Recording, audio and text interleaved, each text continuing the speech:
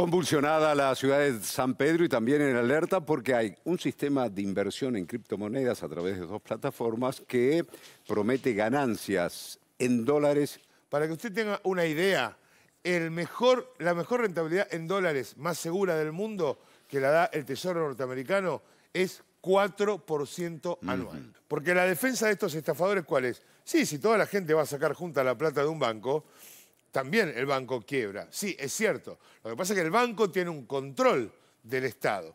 Todos los días a las 9 de la noche en San Pedro, a través de Telegram, todos los que están asociados al consorcio de caballeros escuchaban a la China Ali. Y ella te decía cómo al otro día tenías que ir invirtiendo en criptomonedas. Es una ciudad de 70.000 habitantes y se cree que 15.000, entre 15 y 20 Esa es la cifra que andaban, 12.000, 15.000, 20.000. Pusieron plata acá. Ah, son actores profesionales. Son ¿eh? actores polacos contratados para venir acá como los líderes de la organización. Sáenz Eliarte, uno de los abogados de ahí de San Pedro, sobre el tema, mirá. A ver. La gente de trabajo común ya había dejado de ir a trabajar, porque estaba invirtiendo, vendió la moto, vendieron un fondo de comercio, lo que fue, sí invertían en esta moneda china.